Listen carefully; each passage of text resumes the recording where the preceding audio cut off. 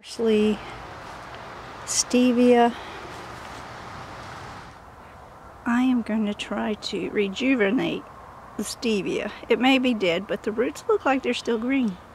So I'm going to put them in a pot and put them in my new little greenhouse. I reutilize my bags um, from the store and I put my compost, I should say. So I'm going to put that much compost in. And yes, I normally use my hands. I just forget to go get my gloves. And this way I'm reusing previous soil that has the vermiculite. And I'm going to put this stevia. It's sweet stevia. And I found that I like using the stevia leaves. I just dry them by hanging them and then just in case I can rejuvenate this I'm to put it down in there like that. Nothing fancy. This one has some leaves left on it. This one has some roots left on it. So I'm to tuck him in I'm going to give them some top dirt and mixed with leaves.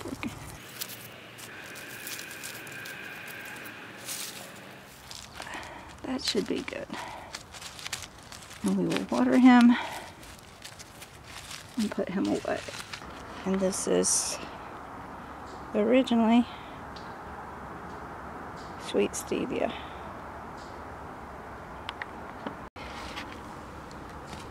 I dried a good bit of it, but I would like to get enough to dry to share with my friends and my family. So, late thinking on that. So now I'm going to put it in this greenhouse.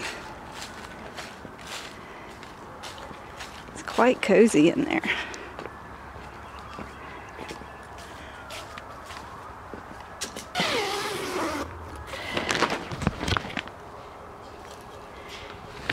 Set him down here for now. Ooh, very warm in here. I think I'll open the window. Where's the window? My city water containment area. This is water from the sky in here.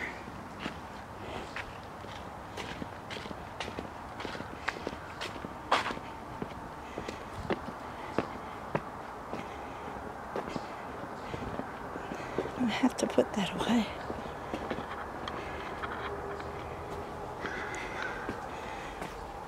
Alright, let's water this guy.